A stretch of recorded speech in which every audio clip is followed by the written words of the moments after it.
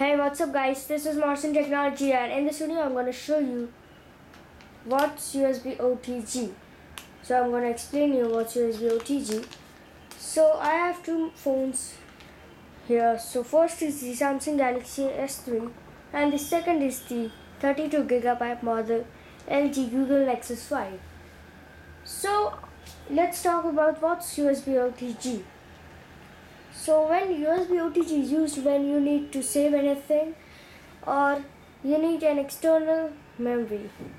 So on the Galaxy S3 you get external SD card slot. So you can you don't need the USB OTG. But on the Nexus 5 you get only 2 GB model. Like first is the 16 gigabyte model and the second is the 32 gigabyte model. So I'm, I have the 32 gigabyte model Nexus 5 and I need an external memory so I'm using the Google Nexus 5 with USB OTG so let me show how to use it. So let's keep the S3 side. And this is the USB OTG I purchased it from Amazon and its purchase link is on the description. So if you wanna buy it get it from Amazon so let me remove this remote and this is how it looks like. You don't get any pen drive or anything with it. You need to buy or plug your own one. So I am having the HP 16 gigabyte model pen drive. So let me focus it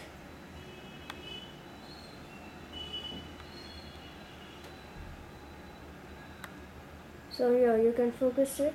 You can see that? So now let's sorry for that. Plug in both these things. So you need to plug in it like this. And it's plugged in.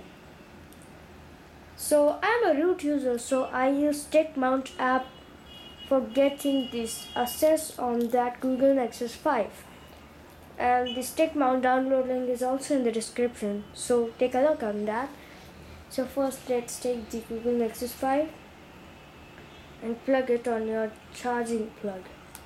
So it's plugged and when I opened it, here's the stick mount notification.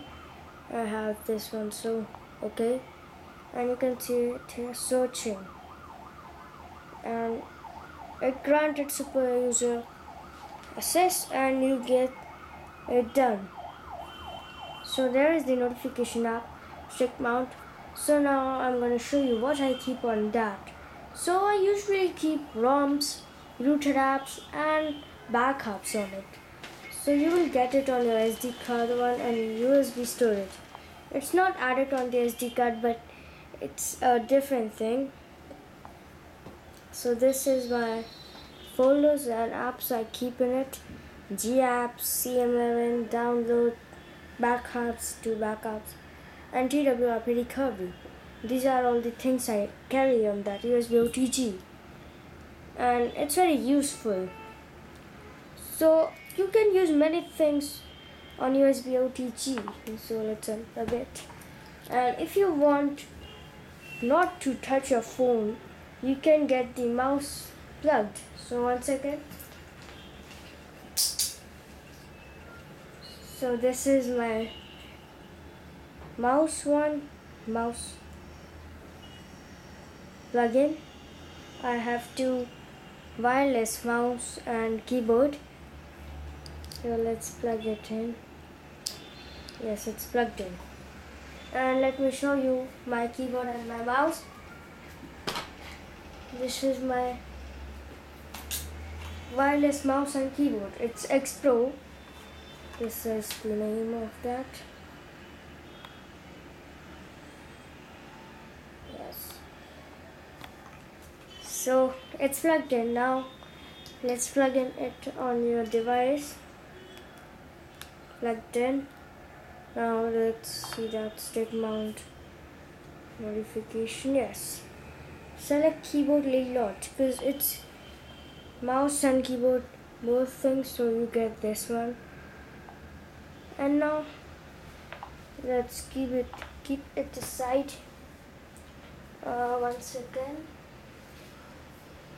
Let me zoom that one.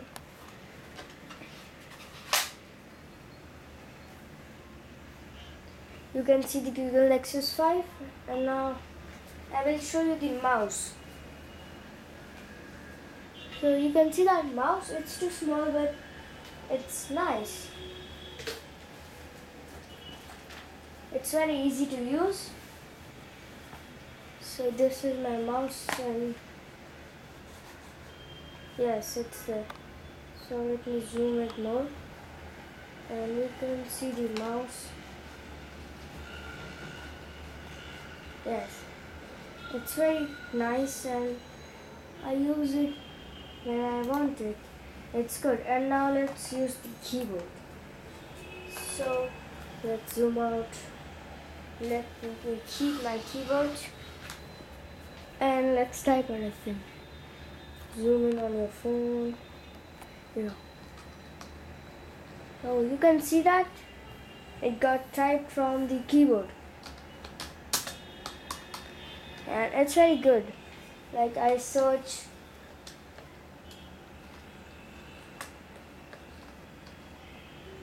Maurson technology and there is my videos and now let's use the mouse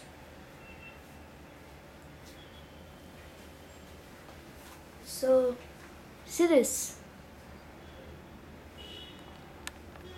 go to Maurson Technology from Chrome Beta, YouTube, and it's opening. It will take a time.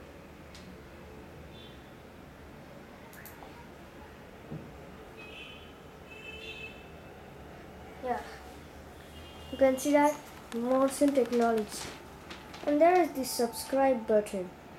So please subscribe. So now let's clear this off. And now let's unplug this.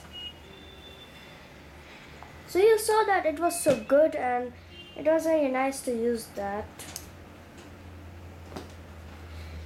So this is my Google Nexus 5 Black 32GB model which I was using it from USB OTG and that's it. So thanks for watching guys. Please subscribe. And if you have any query, let me know. And if you like this video, please hit the like button down. Please subscribe. Peace.